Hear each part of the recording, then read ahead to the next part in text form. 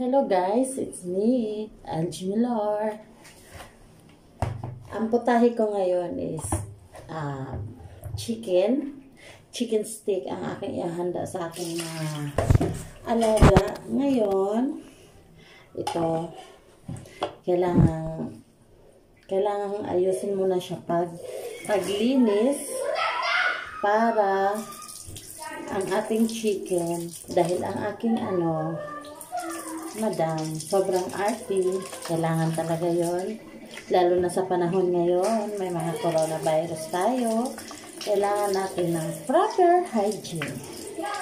So ang gagawin natin ngayon guys i-slice natin siya. Sliding lang para ano maging stick siya. Then after Wait lang. Watch lang kayo dyan. Potatoes finished. Potatoes finished. Roy, Roy, Roy, Roy. Potatoes finished. Finish, but in, Swaya! Can I help you? No!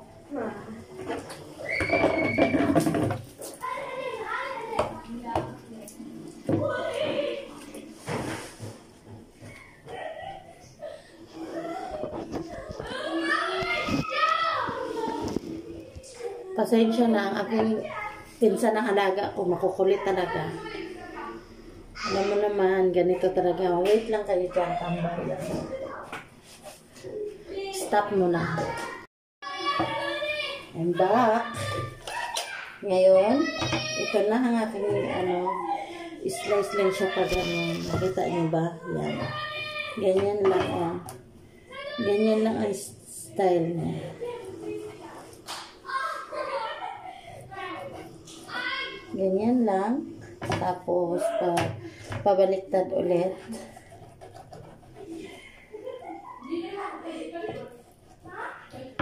Ganyan. Para mamaya, pag ganun lang siya, ang ilalagay lang siya, guys, is salt lang at saka pepper soya. Yan lang. Um, ganyan.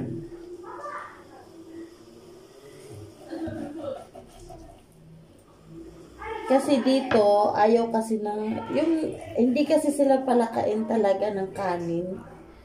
Yung amo ko, hindi talaga. Ang partner nito is mashed potato.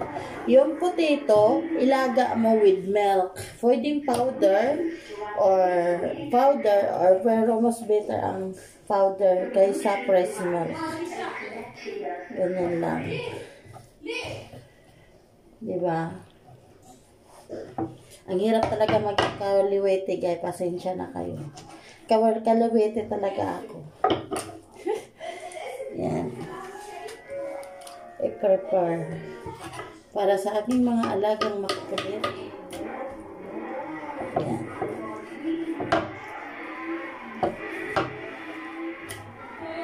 Yan.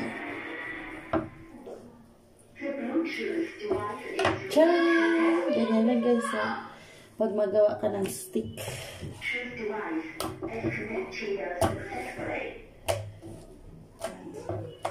Dati hindi talaga ako marunong sa mga ganito guys. Nung nasa Pinas pa ako kasi security ako noon. Lady guard po ako noon.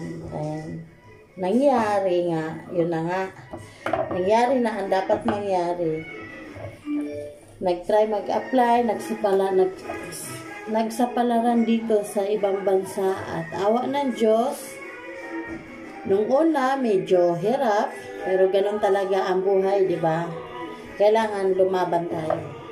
Huwag sukuan ang hamon ng buhay. Dahil pag once na sumuko wala kang mararating. Dahil ang buhay ay wither wither lang. Ika kaya, awa ng Diyos, ako, nakadalawang balik na ako. Um, nag-start ako dito, 2014.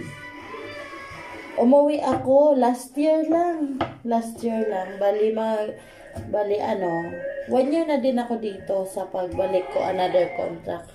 Almost six years na ako sa bossing ko. Mabait naman. Alam mo naman mga Arabo, mga ano, may mga sapak, gano'n. Kailangan lang ng ano. Kailangan mo lang na adjustment. So, yun na guys. Hanggang dito lang nagtatapos. Continue na lang mamaya. Basta yung mashed potato niya, ah, laga mo lang siya sa gatas. After, tangga, pag na, ano na siya, na boiling na siya, malambot na siya, imas mo yun siya. Tapos yun lang kakainin na. Ganyan lang. Yun lang ang tip na ibibigay ko sa inyo. Salamat. God bless.